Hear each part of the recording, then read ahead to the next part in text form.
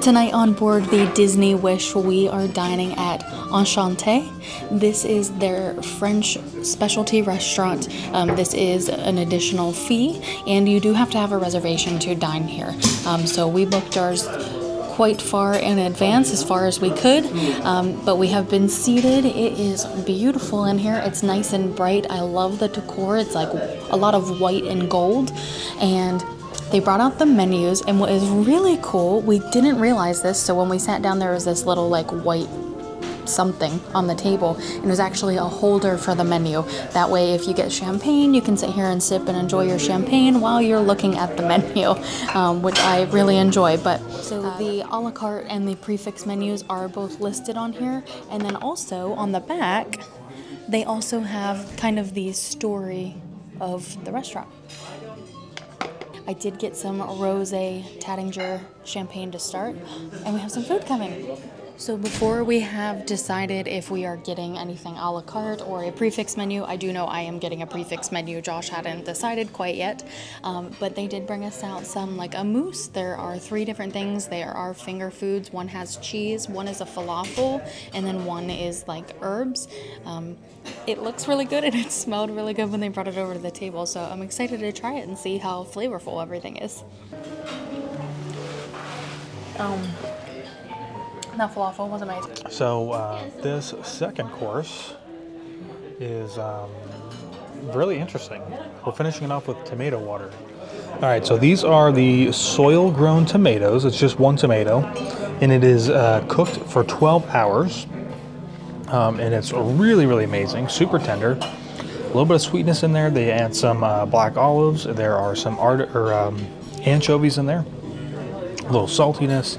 Um, some little like I think like they're crispy, like chips almost. Um, absolutely fantastic, and then served with all of this great color.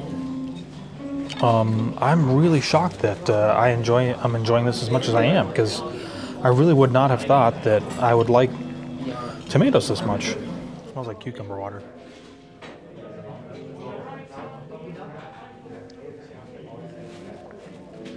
Um, yeah, sorry, my face is not that it's tastes bad or anything like that. It's just, it's unfamiliar and it is a little surprising. I know you can't hear Taylor because she doesn't have her mic, but it's just, um, it's very different.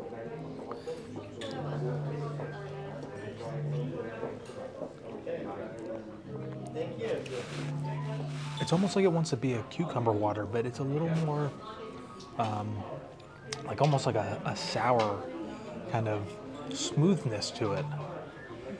I don't know. I don't want to drink it, but I, part of me wants to keep drinking. Like it's almost like a little salty.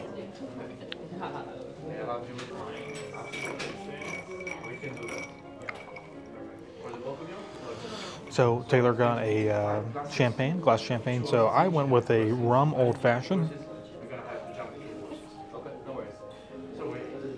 And uh, it's made with a uh, 23 year Zacapa.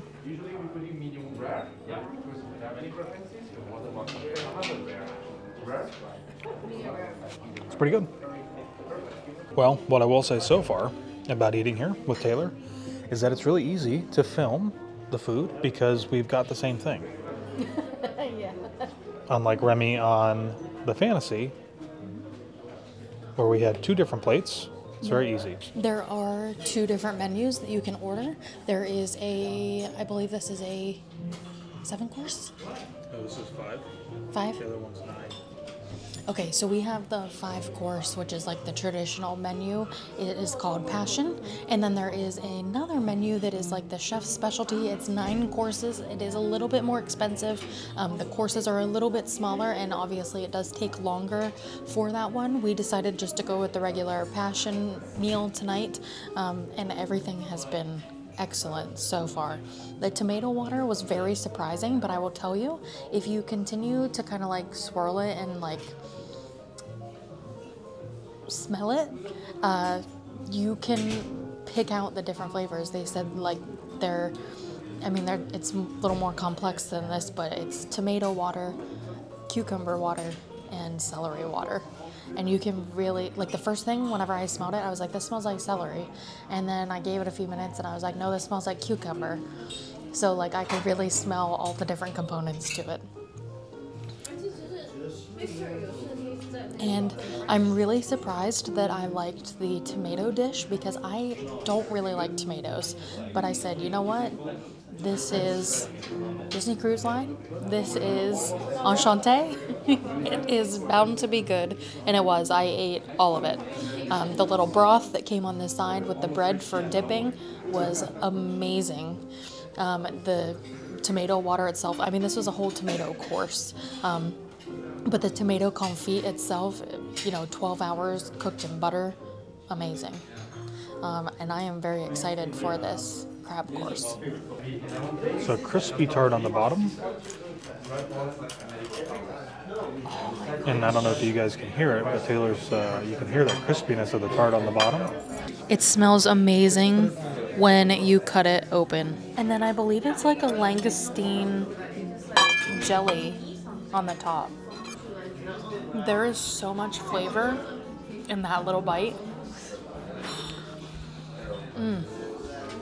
I mean, you can really taste the crab, but everything else that is in this dish. Like, you have to eat this course slowly so that you can savor all of the flavors that are in Right. there. well, mention too though that this, if you come Oh. and eat this here, this might not be what you get. This, uh, they they either ran out of or they weren't able to get Yeah, any this was a the. substitute for the John Dory fish um, that was supposed to be for this course tonight. But I will say I am not just not that I I don't know what the John Dory course was, um, but this is definitely a very suitable replacement dish. I'm not a huge crab fan, so for me and my palate, it doesn't necessarily jive. But um, you know, I mean, if you enjoy crab, this is going to be right up your alley. If you have this. Here we are presenting Le Flétan. It's a halibut from Alaska. It's a grilled a la plancha with a little bit of corn oil, and beside they have the selection of onion. The first onion, the small one on the top, is a normal white onion petals, caramelized uh, with uh, butter and uh, mussel juice. Sorry, that I get stuck. In the middle we have a half cipollini caramelized with butter, and the last one, the square, is uh, a gratin of uh, onion, shiso, and butter and mussel juice. Okay, what I serve now is. Um, that looks amazing. This is a signature dish from, uh, from uh, Lallement called the pigeon pie.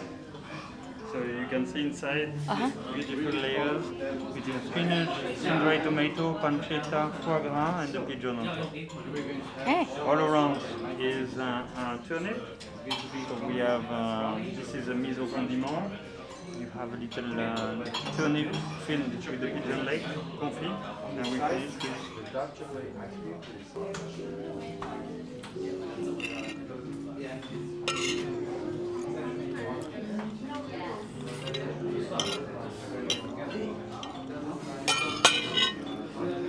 that is absolutely delicious.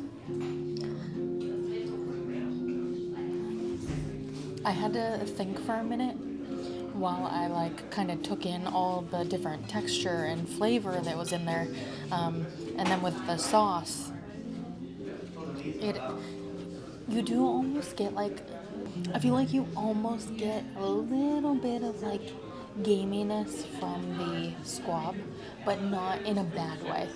Um, it's almost that like okay, I know that I'm eating squab right now. Um, but all those flavors in there, absolutely amazing.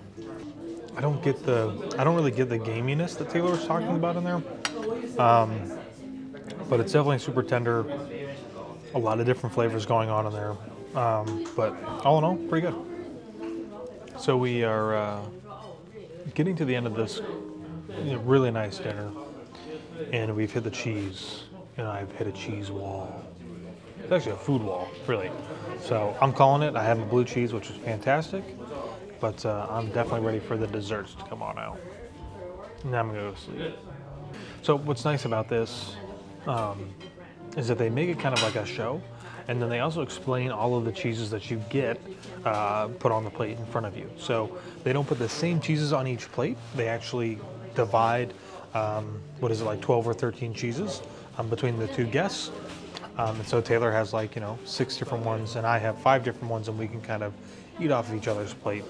Um, and uh, it's nice. It's a good sharing moment of trying different types of cheeses. It's a lot of cheese. Um, but it's all really good. It's fantastic, top notch stuff. So, So before our official dessert comes out, we have some petit fours they just brought out. Um, there is a little coffee and caramel, like tart almost, uh, some mango passion fruit gelée, and then a white chocolate something, and I forget what the other one is, but everything looks really good. okay, so we just finished eating at Enchanté. Ashante. so it's equivalent to Remy's on the fantasy and the dream and the magic. No, Oh, okay. only Palo on the other ones. Um, and it's a it's a decent restaurant. It's very good. Uh, a decent restaurant. I thought that was an excellent meal. you know, it's a Mich- Service was great. Michelin star chef who's not currently on the ship, obviously, because he's got 500 other things he's got to worry about. But you know, um, set up the menu, so it's good. It is a French cuisine. Yeah. Yes, it is. Anything bad? No, it was just overall very good. Go with an empty stomach because Yeah. even though the portions are smaller, you are still eating a lot of food. yeah, it There's adds up. bread courses in between, and you know they've got an extra like amuse bouche at the beginning, and then they have Right.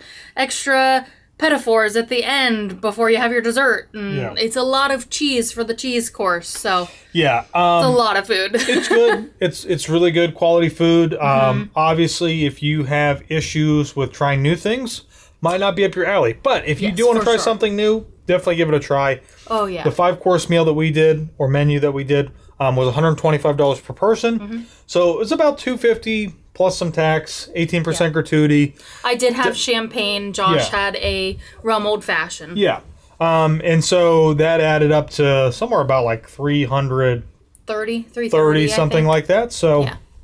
it's expensive. You know, um, be prepared if you're Yeah. if you're concerned about it. Maybe don't do this. Right, but if you're thinking about going there, just add that into your budget, just like Yeah. you would with anything else. It's a nice restaurant. I think that the biggest difference between this and Remy is that it's just so bright and inviting, Yes, and I really like that. yes, I have noticed that about the whole entire ship. Everything is just, you know, more like light almost. Um, Yeah. And it, it's not necessarily the actual lighting itself, but the overall decor and everything else about the ship. Right. So yeah, it was good, and uh, let us know if you are planning to try because the ship's only been out and about for a few weeks. Few Uh, months. and uh, let us know what you think, and we'll see you all in the next one.